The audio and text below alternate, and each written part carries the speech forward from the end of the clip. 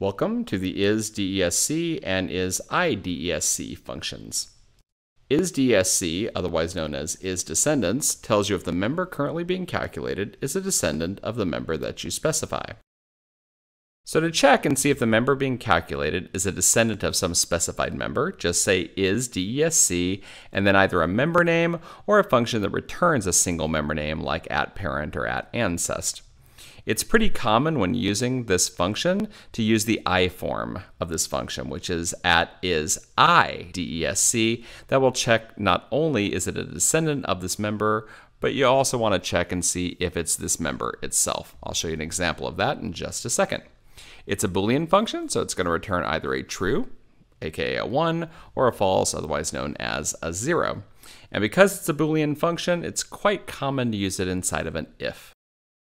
So let's say I want to set sales equal to 123 if the member being calculated is something beneath profit in the outline, meaning margin or one of margin's children, or total expenses or one of total expenses children.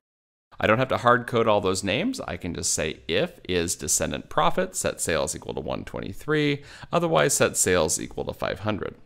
But what if I wanted to include the profit member itself? In that case, I would want to use is I descendant profit. Now, in that case, it will include not only the members beneath profit, but also the profit member.